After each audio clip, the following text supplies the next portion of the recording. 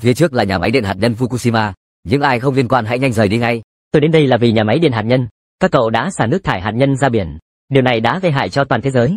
Cậu thì hiểu cái gì? Nước thải của chúng tôi đã được xử lý, không có hại đâu. Vậy tại sao bạn không uống nó?